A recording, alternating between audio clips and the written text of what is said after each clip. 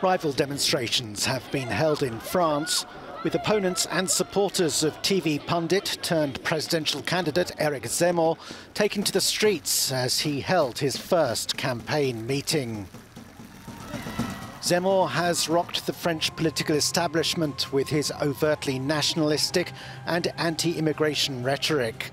And he doubled down on that stance in front of his supporters on Sunday. I want to systematically expel all people present illegally on our soil, he said. I want to expel unemployed foreigners if they haven't found a job after six months. So many democratic countries are doing this, why not us? In the capital, Paris, more than 2,000 people gathered to hear leftist candidate Jean-Luc Mélenchon denounce the far right and its domination of the French political agenda. We are here to proclaim once again, he said, that no, France isn't the far right.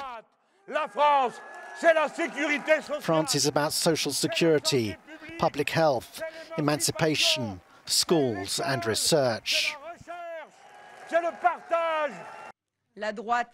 On Saturday, the head of the Paris region, Valérie Pécresse, won the contest to become the presidential candidate for the mainstream right Republican Party. Oui, mes amis, je vous le dis solennellement, je vais tout donner